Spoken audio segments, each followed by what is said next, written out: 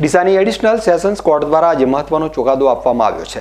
POCSO act હેઠળ magistrate સંવેદનશીલ ચુકાદો આપ્યો છે.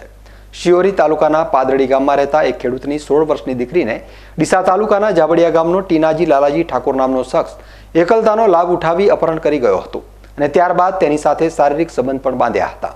આ ઘટના અંગે સગીરાના પિતાએ શિયોરી પોલીસ મથકમાં ફરિયાદ નોંધાવી હતી. બાદમાં આરોપીની અટકાયત કરવામાં આવી હતી. જે અંગેનો કેસ આજે ડીસાની એડિશનલ સેશન્સ કોર્ટના મેજિસ્ટ્રેટ બીજી દવે સમક્ષ ચાલ્યો હતો. આ કેસને લઈ સરકારી વકીલ નીલમબેન બ્રહ્મભટ્ટ દ્વારા મૌખિક અને દસ્તાવેજી પુરાવા રજૂ કરી સમાજમાં આવું હિનકૃત્ય કરનાર સામે દાખલારૂપ સજા કરવામાં આવે તેવી ધારદાર અપીલ કરી હતી.